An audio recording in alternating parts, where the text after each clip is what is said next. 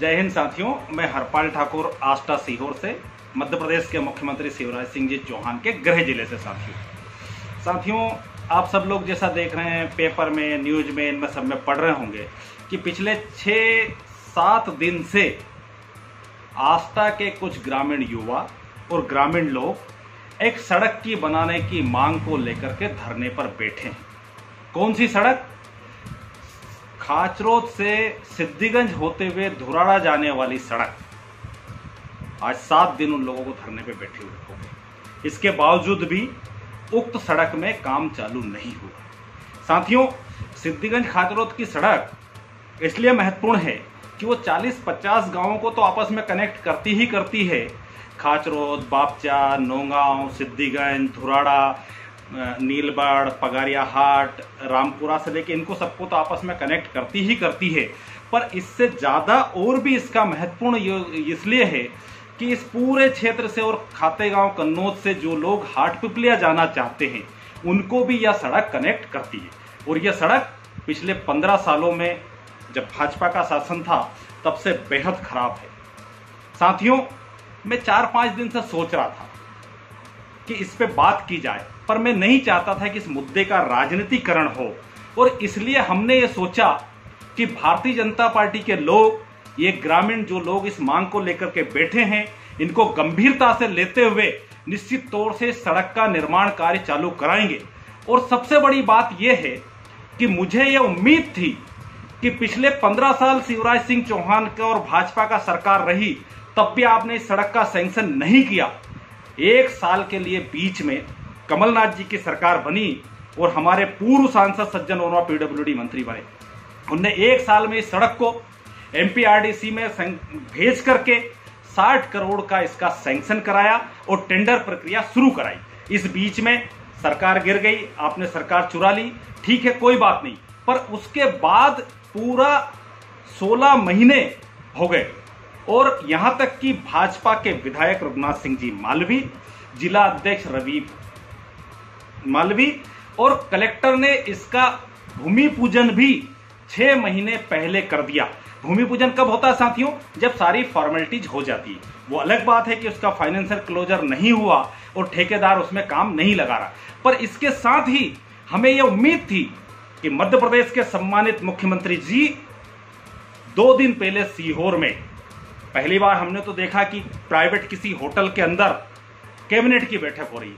तो कैबिनेट की बैठक करने आए थे। हमें ऐसा लगता था कि सीहोर जिला प्रशासन और विधायक जी और ये सब लोग मिलकर मध्य प्रदेश के मुख्यमंत्री का इस समस्या पे ध्यान दिलाएँगे और इस सड़क का निर्माण कार्य तत्काल चालू कराएँगे। पर ऐसा नहीं हुआ, साथियों। मध्य प्रदेश के मुख्यमंत्री शिवराज सिंह चौहान ने सीहोर में कैबिनेट के बैठक करने के बावजूद कोई सौगात सीहोर ज़िले को नहीं दी और यहाँ तक कि जो ग्रामीण धरने पर बैठे हैं, उनकी मांग पूरी करने के संबंध में काम लगाने को लेकर के भी उसमें कुछ नहीं बोला। क्या हुआ शिवराज जी? आप तो ये कहते हैं कि मध्य प्रदेश की सड़कें अमेरिका से अच्छी सड़कें तो क्या अमेरिका से अच्छी सड़कें अगर मध्य प्रदेश की है तो फिर ये ग्रामीण लोग धरने पे क्यों बैठे? आपके ज़िले में काम क्यों नहीं लग रहा है? आप उस सड़क को बनाने का काम क्यों नहीं कर रहे हो? अगर सज्जन वर्मा एक साल भर में आप पंद्रह साल मुख्यमंत्री रहते हुए उस काम को नहीं कर पाते और एक साल में सैंक्शन करा करके टेंडर प्रक्रिया शुरू कर देता है तो उसके बाद 16 महीने आपके मुख्यमंत्री रहते हुए उसमें काम शुरू क्यों नहीं होता है? तो इसका मतलब यह हुआ कि आप सिर्फ़ झूठ बोलते हो और झूठ की दुख, दुकान आप चलाते हो। अमेरिका से अच्छी सड़कें अगर आपकी है तो फिर यह सड़क आप क्यों शुरू नहीं करा रहे मेरा आपसे निवेदन है कि इस सड़क को आप तत्काल शुरू कराइए और उन ग्रामीणों को धरना समाप्त करने की ओर आगे बढ़ाइए। मेरा तो जिम्मेदार इस क्षेत्र के विधायक रघुनाथ मालवी जी से भी निवेदन है कि मालवी जी, वो सड़क कब सेंक्शन हुई, उसका पैसा सज्जन वर्मा जी ने सेंक्शन कराया, उसको छोड़िए। आज अगर सड़क बनेगी तो उसका क्रेडिट आपको मिलेगा और आपके मुख्यमंत्री को मिलेगा। कमलनाथ जी और सज्जन वर्मा जी को उसका क्रेडिट नहीं चाहिए। पर आप इस तरह से इस बात को आगे बढ़ाइए। कि यह काम तत्काल शुरू हो। आप अपना समय नकारात्मक पॉलिटिक्स में मत लगाइए। आप ये मत कहिए कि वहाँ चार लोग बैठे छह लोग बैठे दस लोग बैठे या वहाँ पे बहुत सारे लोगों का समर्थन नहीं है। यही सरकार की सबसे बड़ी नाकामी है कि दो लोग, चार लोग, छह लोग, अगर एक भी व्यक्ति को धरने पर बैठना पड़ जाए तो वो सरकार की नाकामी होती है और आपके भूमि पूजन की नाकामी है। इसलिए आप मुख्यमंत्री के पास जाइए और उनसे कहिए कि यह आपका गृह जिला है और यहाँ पे सरकार की, मुख्यमंत्री की, सहित आपकी और पूरी पार्टी की बेजती हो रही है। इसलिए तत्काल हमको ये काम ठेकेदार से बोल करके इसको तत्काल लगाना चाहिए। आप इस दिशा में सोचिए। यदि आप तत्काल लगाएँगे तो आपको श्रेय मिलेगा।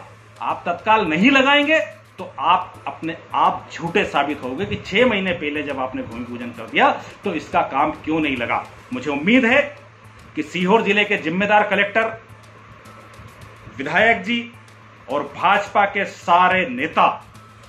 मध्य प्रदेश के मुख्यमंत्री शिवराज सिंह जी चौहान से ये कहेंगे कि जब हम एक तरफ़ तो कहते हैं कि अमेरिका से अच्छी सड़कें और आप ही के गृह ज़िले में सिद्धिगंज से धुराड़ा मार्ग की यह हालत है पिछले पंद्रह साल से और उसका सैंक्शन पिछले कांग्रेस की सरकार में हो गया और इसके बाद भी काम चालू नहीं हो रहा है। ये बड़ी शर्म की बात है।